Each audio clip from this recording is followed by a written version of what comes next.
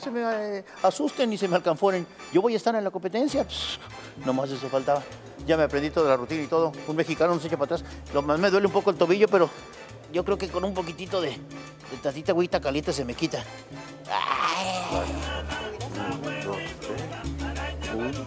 Él tiene una pierna malita, no puede bailar.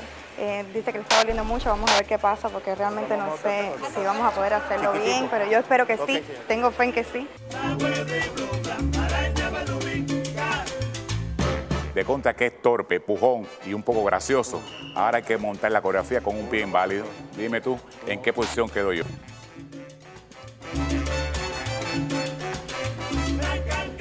Don Pedro Armenteros es un excelente coreógrafo. Es de los mejores coreógrafos que hay aquí en Miami.